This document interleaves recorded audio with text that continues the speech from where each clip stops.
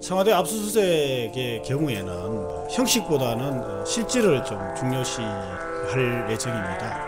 압수수색 영장의 유효 기간이 28일로 되어 있기 때문에 수사기간 연장 승인 신청을 좀 긍정적으로 검토해야 되지 않을까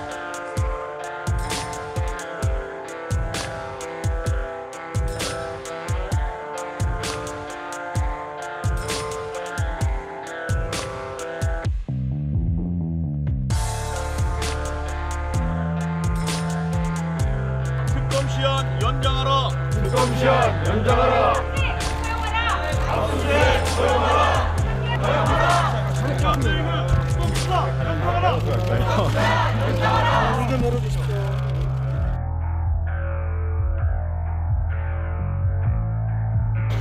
적당한 때가 있을 겁니다.